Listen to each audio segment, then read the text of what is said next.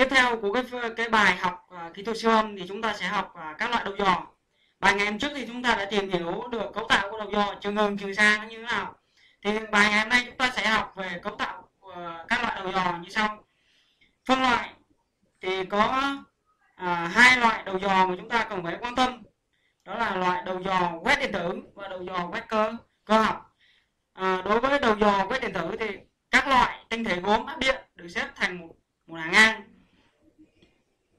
đầu dò này được mở ra với một cửa sổ nhỏ hay là lớn đều phụ thuộc vào số lượng tinh thể và chiều rộng của sóng âm được được phát ra.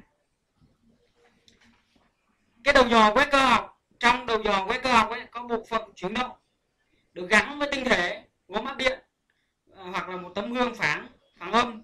Nó có chức, chức năng giống như một cái bộ đèn pha đấy nó có thể quét được ánh sáng với chùm chùm đơn. Và nhờ nó tấm gương nhờ có các tấm mà và các dao động sóng sẽ được phản chiếu phản chiếu lại đúng không? Và chúng ta sẽ vào cụ thể từng cái từng cái một. Đầu tiên là đầu dò quét điện tử.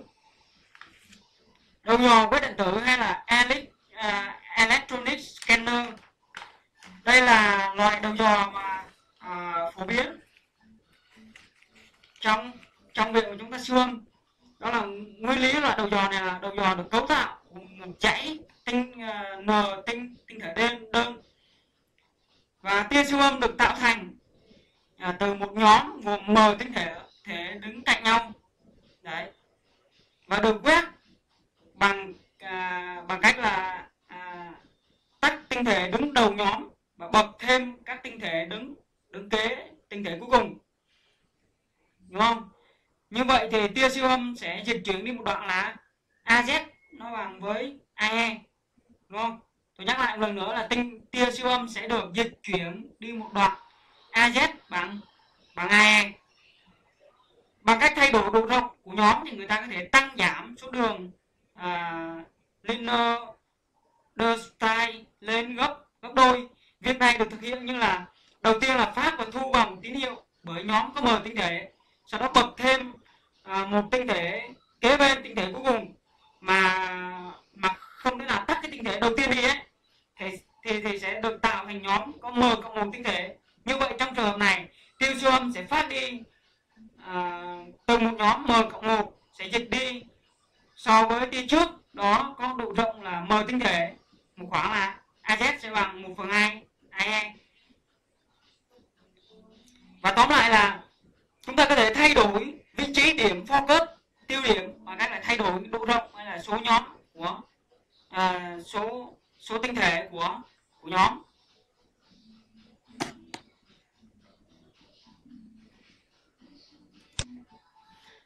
Và nhóm càng lớn thì focus tức là tiêu điểm đấy focus tiêu điểm đấy càng càng làm sâu. Có thể làm việc nhiều chế độ focus từ hai đến bốn focus trong một lúc. Để tăng độ focus thì người ta phải tăng số đường tức là làm giảm độ fr tức là ờ, uh, rate đấy. Uh, tức là cái tỷ lệ khung hình ấy cái tỷ lệ khung hình sẽ giảm một nửa khi mà người ta dùng. Ví dụ như là tỷ lệ khung hình sẽ giảm một nửa khi mà chúng ta dùng hai hai focus. Đấy. đây là à, cái hình ảnh so sánh ba loại đầu dò đầu dò thứ nhất là đầu dò chúng ta đang xét đây chính là đầu dò linear tức là đầu đầu dò này. Có tia dạng thẳng đây. Đấy. Ở đây nó chú thích là 7.2 à, MHz ưu điểm ưu điểm của nó thì vùng thăm khám rộng. À, thực hiện à, nhiều focus động và nó không có phần cơ khí nhược điểm, là nó có kích thước lớn. Độ phân giải theo chiều dọc và chiều ngang nó sẽ khác nhau. Và nó có một điểm yếu đó là bị nhiễu mạnh và hiệu ứng tia tia thứ, tức là nó sẽ, hình ảnh nó sẽ không không không được rõ nét so với nhiều loại loại khác. Và đó cũng chính là điểm hạn chế của nó. Ứng dụng của loại đầu dò này ứng ờ, loại dùng của loại đầu dò này được dùng trong vùng vùng bụng trong sản và phụ khoa trong tuyến giáp trong mạch gần bề mặt. Các ứng dụng đặc biệt ví dụ đầu dò à, biopsy à, nội sâu à, nội soi phẫu phẫu thuật. Và chúng ta có thể quan sát thấy ba loại đầu dò này tia tia laser là tia nó dạng thẳng và nó không có vùng loe đâu ra. Trong khi đó hai loại đầu dò khác thì nó có vùng loe rộng ra.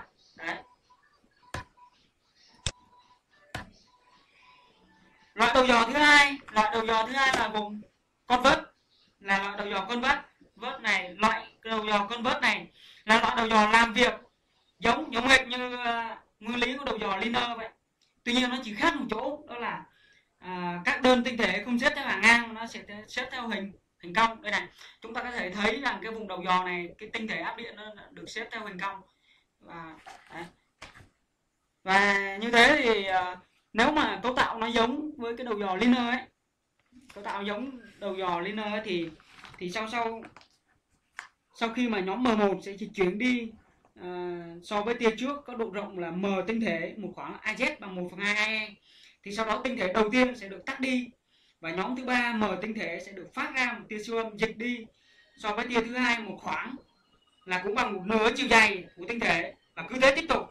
Một tinh thể mới được bật lên à, cho nhóm thứ tư gồm là M1 M cộng một tinh thể. Đấy. Và tuy nhiên số đường tăng lên gấp đôi thì số số frame rate thì cũng giảm được nữa. Đấy. Tôi nhắc lại một lần nữa nhé đó là nguyên lý nó giống với đầu dò liner. Đầu dò liner sẽ thay đổi độ rộng một nhóm bằng cách là tăng số đường liner style lên gấp đôi. Việc này được thực hiện là đầu tiên là phát một tín hiệu phát và thu tín hiệu bởi nhóm m tinh thể sau đó bật thêm một tinh thể kế bên tinh thể cuối cùng mà không tắt đi, tinh thể đầu tiên đi, thì nó sẽ tạo thành một nhóm có m1 m cộng một tinh thể. Nó sẽ tạo thành nhóm có m1 cộng một tinh thể. Như vậy trong trường hợp này thì tia siêu âm sẽ phát đi một à, từ một nhóm m cộng một, sẽ dịch đi. So với tia trước đó có độ rộng là m tinh thể, một khoảng là az bằng 1 phần 2 sau đó tinh thể đầu tiên sẽ được tắt đi và nhóm thứ ba lại có m tinh thể thể được phát đi từ một tia siêu âm dịch đi so với tia thứ hai một khoảng cũng bằng nửa chiều dài của của một tinh thể đó. Và cứ như, như thế thì nó sẽ tiếp tục. Và ở ảnh đây thì đầu dò đây là đầu dò siêu âm convert a alo k à, 91 à, 23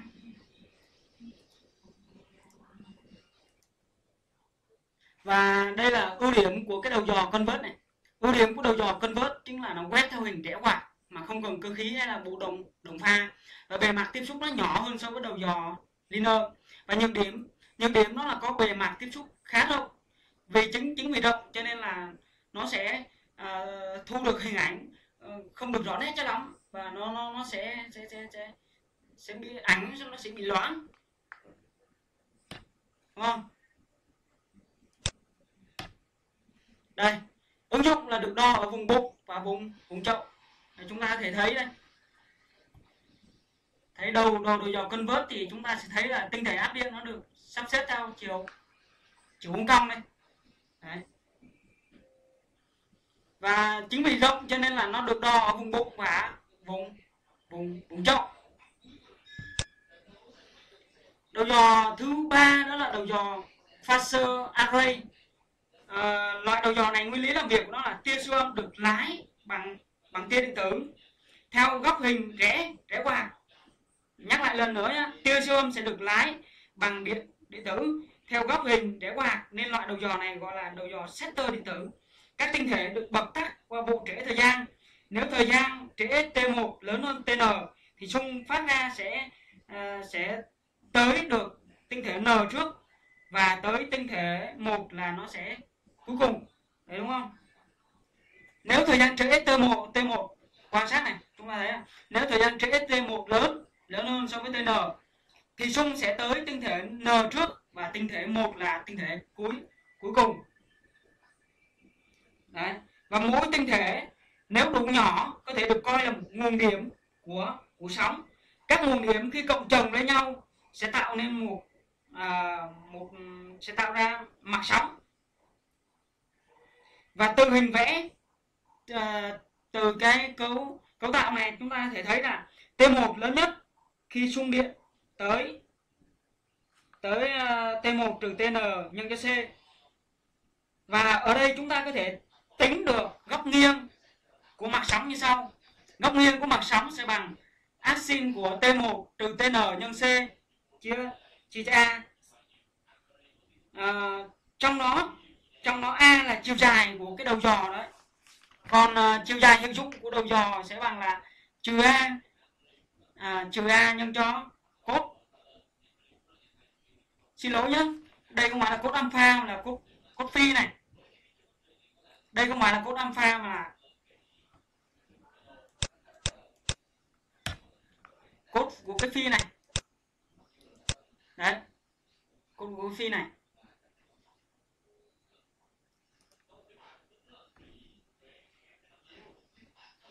Và chúng ta cũng sẽ được thấy à, ở cái đầu dò setter khí đối với cái đầu dò setter khí thì à, nó cũng tương tự như thế. Và chúng ta sẽ quan sát à, ở đây ở đây là cái nguyên lý làm việc của đầu dò Faraday, đúng không? Vậy thì ờ, ưu nhược điểm của nó như thế nào? Ưu nhược điểm là bề mặt tiếp xúc nhỏ, đầu giò nhỏ và nhẹ, khả năng thăm khám đặc biệt cao. Hiển thị đồng thời ba mốt là mốt ờ, b mốt, Doppler và T T1 nhược điểm nó là đắt tiền và góc quét góc quét nhỏ. Ứng dụng là siêu âm qua tim qua khe liên sườn, có thể tất cả các ứng dụng của setter ứng dụng đặc biệt như nội soi qua thực quản nội soi qua quả niệu đầu dò tiếp theo ờ, mà tôi giới thiệu đó là đầu dò setter cơ khí. Đây là so với setter điện tử thì độ phức tạp của setter cơ khí thì tương đối thấp. Và chất lượng ờ, cấu hình rất tốt mặc dù setter cơ khí phát ra là nhờ cố định của cấu trúc cân đối của tinh thể đầu dò ngoài ra người ta có thể sử dụng phốt cơ động à, for, for động tức là cái cái cái tiêu điểm động đấy khi mà thu tín hiệu phản hồi để nâng cao cái độ phân giải ngang của cái đầu dò này.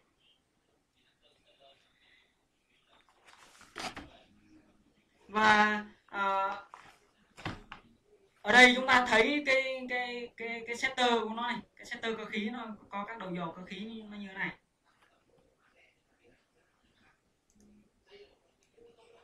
Đấy.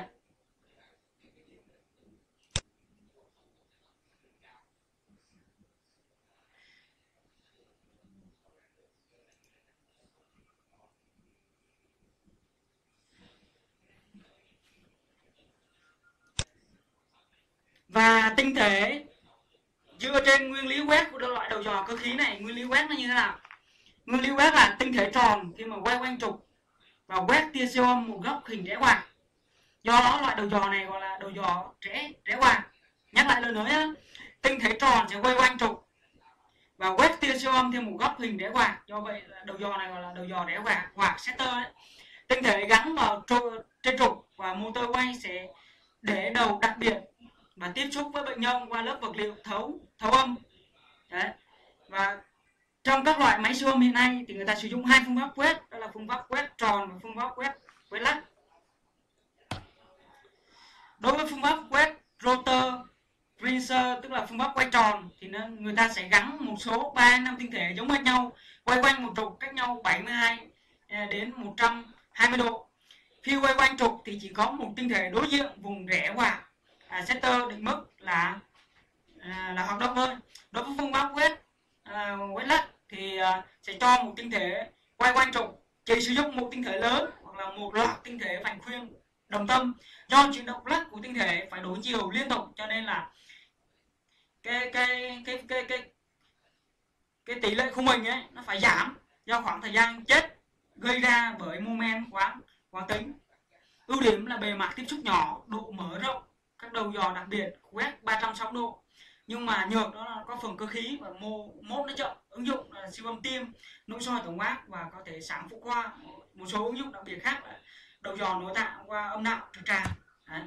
đây là cái cấu tạo đầu dò xe, xe siêu âm à, theo theo đáy qua đúng không?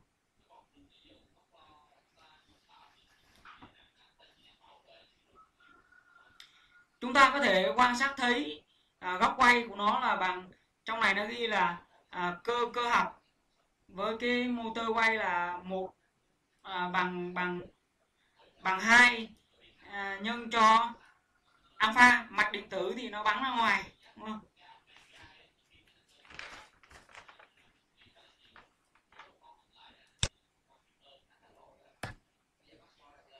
ok và tôi kết thúc cái À, bài học ngày hôm nay. Và các bạn nhớ là tải tôi nhắc lại lần nữa là tải cái file baboy ở phía dưới link mô tả youtube đấy, đấy.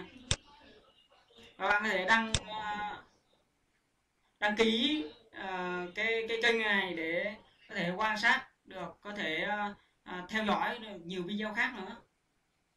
Ok và uh, xin cảm ơn và hẹn gặp lại các bạn ở cái video tiếp theo.